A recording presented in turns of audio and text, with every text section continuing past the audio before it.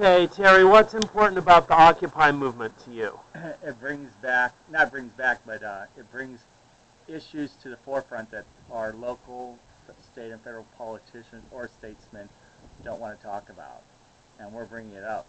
And uh, we, we don't play games with the with the with the people that we talk to, whether it's a politician, whether it's a, a business owner, or whether it's the man on the street, because we tell them how, how the real the real story is, and um, and also about the injustice that's going on.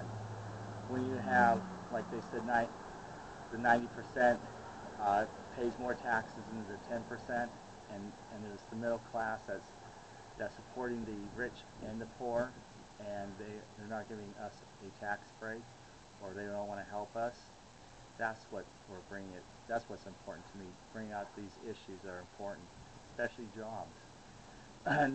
Neither party, uh, Democrat or Republican, are talking about jobs. They they say they they want to bring the economy back, but they're really not. They're not addressing the Chinese uh, unbalanced trade with them. Also, the the yen, how they're undercutting the yen against our market, and uh, and the other unfair trade practices that that from Bush to to now, to this present day uh, administration that they're signing on.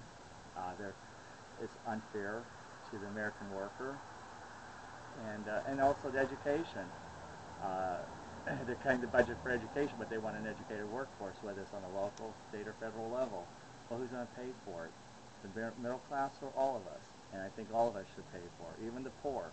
They can, they can, we can find ways for the poor to chip in that's not going to hurt them, you know. So everyone has, has to pull their own weight to get this, uh, this country back on its feet.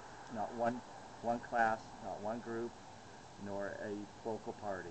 It's all of us.